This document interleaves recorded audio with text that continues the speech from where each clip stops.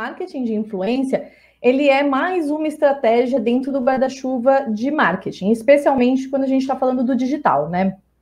Marketing de influência é a ação de contratar um criador de conteúdo, né, que é mais conhecido como influenciador digital, para fazer uma campanha da marca, seja ela voltada para awareness, para relacionamento ou para conversão. Eu costumo participar da VidCon, que é uma conferência que acontece em Los Angeles sobre criação de conteúdo em vídeo para YouTube, LinkedIn, Instagram, TikTok, todas as redes sociais. E lá se fala muito sobre a formalização desse mercado tanto para a produção do creator, né, que é o influenciador, quanto das empresas como indústria. E essa formalização, ela, ela tem a ver com saber estruturar uma campanha, definir objetivo, co-criar o conteúdo dessa campanha com o influenciador e, claro, saber medir resultado. Isso aqui no Brasil, que é o que eu falei, eu acho que a gente tem tanto marcas quanto influenciadores super experientes e profissionais. Por isso que eu acho que a gente não perde para o mercado de fora. Só que o que, que acontece? Né? Não é a maior parte que tem essa estratégia redondinha. Tem muito profissional de marketing que ainda usa o influenciador como garoto propaganda. E não é isso o marketing de influência.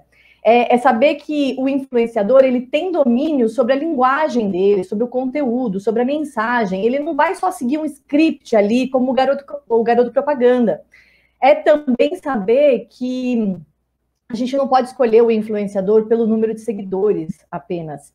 É, na verdade, eu diria que é a métrica menos importante. Você tem que olhar as conversas que ele consegue gerar com aquela comunidade, a, o posicionamento que ele tem, se, se bate com o posicionamento da sua marca também.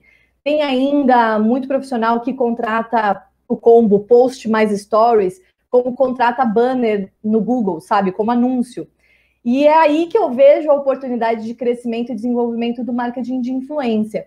Até porque é, saiu uma pesquisa ontem do YouPix, eu acho o YouPix uma excelente referência para marketing de influência, e eles fizeram mais uma edição da pesquisa ROID de influência. E aí, nessa pesquisa, vários dados importantes, mas eu trouxe para a gente falar hoje esse, é, a importância do marketing de influência na estratégia da, de comunicação das empresas. Então, 71% das empresas da pesquisa disseram que consideram o marketing de influência uma das partes importantes do plano. Então, se a gente está falando de, um, de 71%, a gente também está falando de uma profissionalização desse mercado, né?